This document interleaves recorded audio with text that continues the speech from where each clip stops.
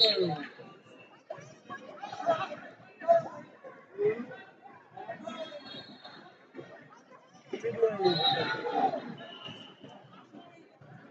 a hard one to get out of. Two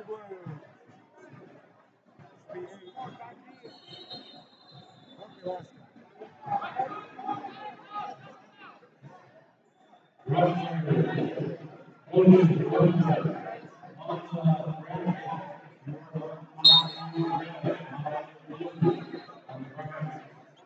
Be